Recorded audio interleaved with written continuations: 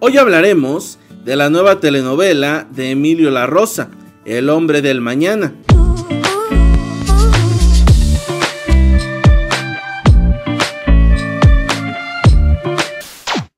Hola mis queridos Lawicolers.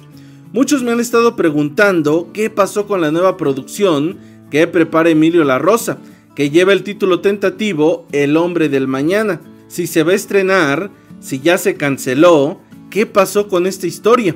Pues lo que deben saber es que sigue en pie y no se ha cancelado, solo que sí se ha llevado mucho tiempo de planeación, porque desde el 27 de abril del 2021 se dio a conocer que Emilio La Rosa regresaría a los melodramas, realizando una publicación desde su cuenta oficial de Instagram en donde se le ve que estaba trabajando ya con su equipo, desarrollando el remake colombiano de la telenovela La Bella Ceci y el Imprudente del año 2009.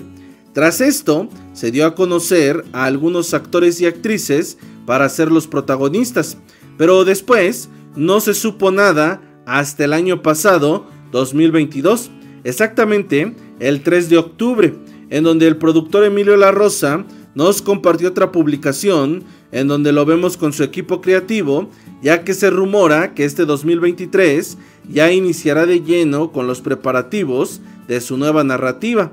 Esto expresado por Laura León, alias La Tesorito, quien es la primera confirmada por el mismo productor. Así que ya veremos qué tal le va en su regreso a los melodramas a Emilio La Rosa. Dime, ¿quién te gustaría que sea la pareja protagónica? ¿Y ya esperas con ansias esta telenovela? Cuéntame tu opinión en los comentarios.